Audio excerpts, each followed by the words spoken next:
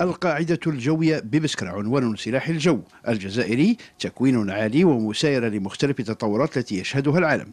فتحت اليوم أبوابها للجمهور تجسيدا لرابطة جيش أمة وليكون الشعب أقرب لجيشه ويطلع عن من يصنعون مجده في مختلف نشاطاتهم من خلال الشرح عن مهام هذه المؤسسة من قبل ضباط مختصين في المجال. إن هذه الأبواب المفتوحة التي تندرج في إطار مخطط الاتصال لوزارة الدفاع الوطني تهدف إلى تعزيز الروابط بين مجتمعنا المدني وجيشه.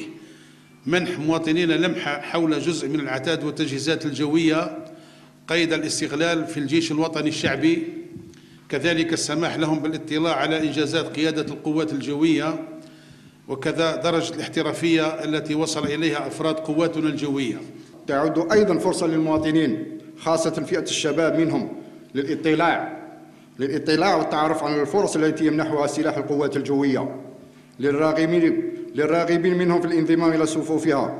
طائرات بتخصصات مختلفة عاينها زوار القاعدة وكان التفاعل بين أطقم الطائرات والجمهور الذي أبدى إعجابا بجيشه.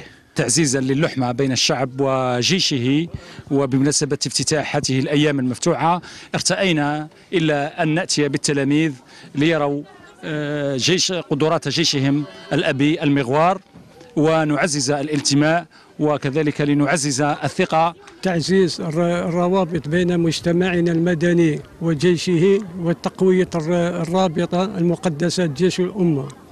ومنح مواطننا لمحة حول جزء من العتاد والتجهيزات الجوية قيد الاستغلال في الجيش الوطني الشعبي والسماح للجمهور بالتعرف أكثر على قواتنا الجوية التي عرفت مراحل عديدة.